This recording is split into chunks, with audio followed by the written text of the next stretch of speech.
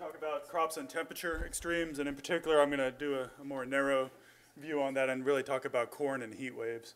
Um, from the perspective of adaptation, uh, whether or not we should expect heat waves to get hotter, and then medium-term forecasting of heat waves. This is work that I've done with Ethan Butler, Marina Lin, Karen McKinnon, Nathan Mueller, and Andy Rhines. Um, so here, for better or worse, is how average yield of corn in the U.S. has changed since 1965. It's roughly doubled. But what I'm going to be talking about is this variability around the trend. And here we have, and that's black line here, the detrended yield you can see that during 2012, which we've already heard about, when we had heat wave and drought, we had a reduction in total yields, about 20% less than usual. Uh, we saw the same thing in 1988. Now what I've superimposed on this black detrended yield curve is an indication of high temperatures. Okay, this is really the cumulative sum of temperatures above 30 degrees Celsius day by day during the growing season, year by year. And what you can see is there's a good correspondence between the two. In fact, this index of high temperatures uh, explains more than 60% of the variance in the anomalies in yield. Okay, so you have a strong coupling between temperature, and temperature also often involves moisture availability, uh, and yield, how many bushels per hectare can be generated. And what people have often done is to take the sensitivity that can be diagnosed from this, this sort of analysis and say, okay, well, when we go into the future, we have a long-term warming, how much loss of yield are we going to have? And that makes some sense, but it doesn't account for the fact that we can adapt through time. And so if we want a more resolved view of how changes in temperature might influence food production, we'd also want some sort of measure of adaptation. And here in this more resolved plot is one way of getting at that. And what I'm showing here in color is sensitivity of yield to changes in these hot temperatures, calling them killing degree days. And you can see there's a gradient going here from the northeast to the southwest where you have lower sensitivities.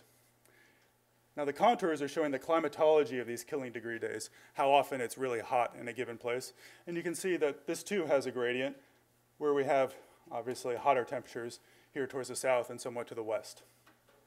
Now this extant patterns can be used to infer what adaptation has been.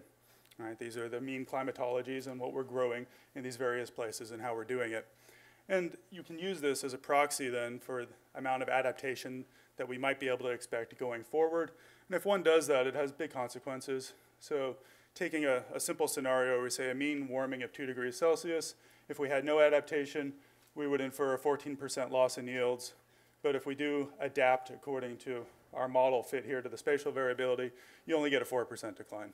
Now, I wouldn't take these numbers seriously, but I would take the fact that adaptation plays a big role in the damages that you might expect uh, as something that's quite robust and something that should be accounted for in any type of assessment of what's likely to be the consequence of climate change. Okay, so that's point one. Now, briefly, point two. Let's look at how temperatures actually have been changing. And this is over the last century, uh, with particular date intervals chosen according to when good census data is available. And what we are looking at in particular is the hottest temperatures during the growing season. This is the 95th percentile of temperature. And what we see is it's warming over most of the US, but here right in the midst of the Corn Belt, what we actually have is cooling. And it's fairly substantial. These hottest temperatures have decreased on average by about two degrees Celsius. Okay, now if we want to know how is changes in how are changes in temperature going to influence production going into the future. We'd want to know of whether or not these kind of fortuitous cooling pattern in this particular location is likely to persist, for which we need a mechanism. We've assessed a number of different possible mechanisms, and the one that really seems the most viable is this notion that through increased agricultural intensity, we actually have greater capacity for evapotranspiration in the Corn Belt. Okay? In particular, what's happening on the very hottest days we're seeing greater cooling because of evapotranspiration, evaporative cooling. And the crops themselves are changing the climate in a way that is beneficial for growing crops. As shown over here, this metric of agricultural intensity in terms of net primary production. So we move to the right, higher increases in net primary product production, and we can see this change in hot temperatures getting greater and greater cooling as we move off to the right. Stars indicating statistical significance. Okay. So we might expect that this pattern will persist to some degree going forward, in so much as we have available water. Okay, and that, that's a big caveat. Uh, a lot of additional things to think about there. Okay, one final point. Okay, we've also been looking at can we predict heat waves, and this is on a time scale of weeks and months now, not centuries. And here's a typical pattern uh, when we have a heat wave during the growing season in the eastern U.S. The closed contours indicate high pressure, which is accompanies high temperatures. And it so happens that when we have heat waves in the eastern U.S., they are typically associated with a sea surface temperature pattern that exists over in the mid-latitude Pacific.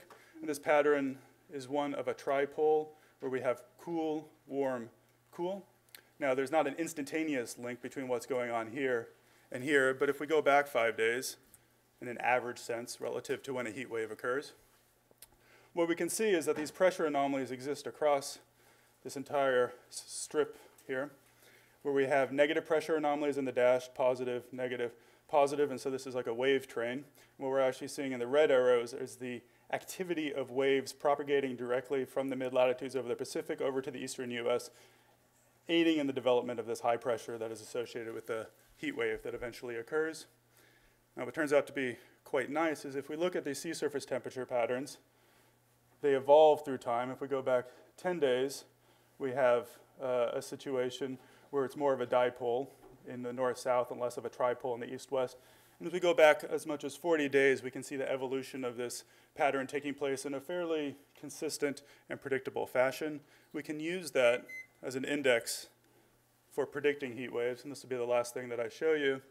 What I'm plotting here is an odds ratio, and what it's showing is that 40 days prior to a heat wave, depending on the expression of this pattern in the mid-latitude Pacific, we can have odds of a heat wave that are greater than twice climatology, or if we have the negative phase of this pattern in the Pacific, less than half of what is typical uh, for one standard deviations in this pattern index. Now, this is only 40 days. That's not going to be quite early enough to decide what you're going to plant, but we think through ocean forecasting and other possibilities, maybe we can extend it even further such that farmers would have more advanced notice of what's likely to occur. That's it. Thanks.